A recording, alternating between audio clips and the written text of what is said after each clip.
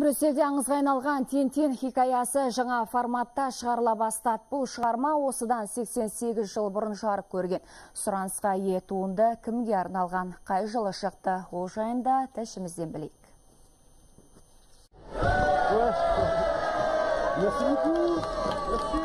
Тинтин телехикаясын Бельгияда еңбектеген баладан еңгейген қарияға дейін білет. Шығарманы кез келген кітап дүкенінен кездестіресіз.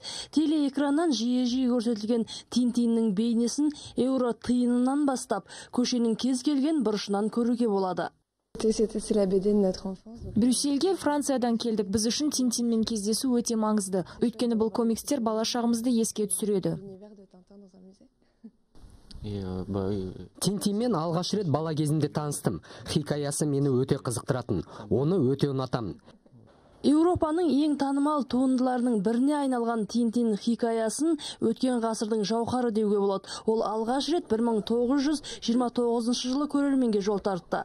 Авторы бельгиялық суретші Жорж Реми. Комикстің бұл бөлімінде Тинтин есімді жас репортер кеңес одағына барады. Онда қызыл әскер сапында қызмет етіп үлгерген ол отанына оралу үшін ұшақты ұрлап әкетуден тайынбайды. Кино лентада әйгілі батырдың бейнесін сомдаған актер Брюссельдің орталық алаңында болып жанкүйерлері алдында өзінің алған әсерлерімен бөлісті.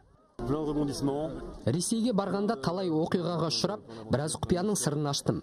1929 жылмен салыстырғанда бұл мемлекет мүлдем өзгергеніне көзім жетті.